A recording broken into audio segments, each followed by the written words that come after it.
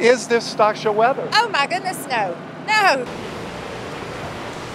Stock show weather. Is this stock show weather? Not at all. It's completely different. As warm as it is, it's been a little, a little culture shock compared to what it normally is. I remember being out here in the early 70s whenever uh, it was down to 20 below a couple nights and you know everything was just frigid out here but i can remember too the times that it was up in the 50s all week and you know just like going down south for the winter it was really nice You never know what to expect. I have two suitcases every time I come out here, warmer and colder clothes, so.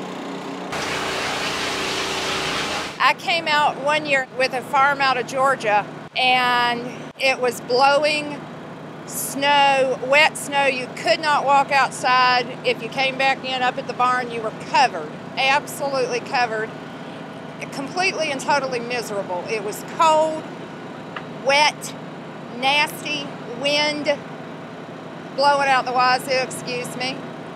I mean, it, it- nasty. be our 75th consecutive year out here for my family, uh, Stephen Duffy Family Farms. We've been raising Herefords for over 85 years, and this is the nicest I've seen it. And I, but I haven't been out here 75 years either. Kind of a wild card for us because it can either be really nice or it can be really brutal. Yes, and I have lived through a couple of them, blizzards and all this stuff, because I did come out in high school and whatnot. But this is still beautiful weather. I can't believe it's here, and I'm gonna enjoy every minute of it. this is not your typical stock show weather it, we've been coming here for a long time and you always have a few warm days but usually there's a few really cold nasty days that make you earn them Yeah, right now most of the cattle are coming from sub-degree weather, so as you walk through the pens, you can tell that they're panting. They just, you know, it's like us wearing a big winter coat around everywhere. We just aren't ready for it, I guess. I've been out here and gotten up in the morning and it's blowing snow and it's nine below, and I'm not a fan. That's when I say we need to go to Tahiti. Forget Denver.